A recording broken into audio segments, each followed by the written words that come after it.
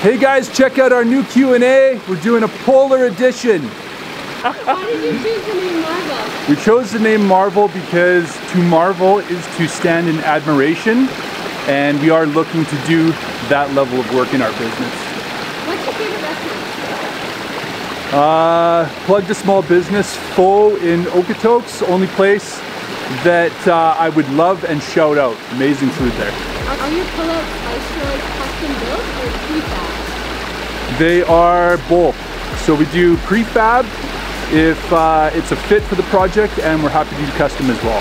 How do you avoid your white painted truck turning yellow over time? We use a uh, UV protected paint and that paint is uh, specially designed not to fade over time. Super safe and durable product as well. When's the last time you took a vacation and where did you go? We went to California, we drove down with the kids, they've traveled super well and uh, awesome time. Had a great, great time with the kids down there and my wife.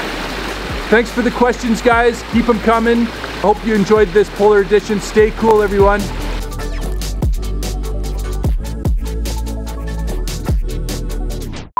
What, uh, what should I say? Want to ask the question again, please? hey guys, check out our new, no, hold on. Check out, ah, no, no, let's, let's do something else. We'll say, uh, He's like, no, let's stay in here longer. all right guys, stay cool. Thanks, hold on. Keep the questions coming guys, appreciate them. Uh, no. Let's go. like literally my whole body is pins and needles right now.